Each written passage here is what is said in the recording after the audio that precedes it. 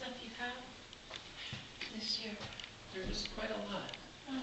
And we've had a very low turnout so far this morning. Because people can't believe it that anybody could be so generous. Mm.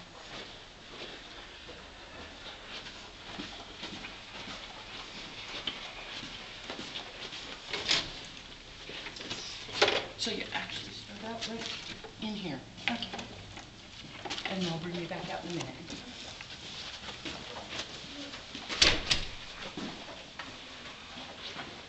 Excuse me, Madam Coordinator. Hi. Carol.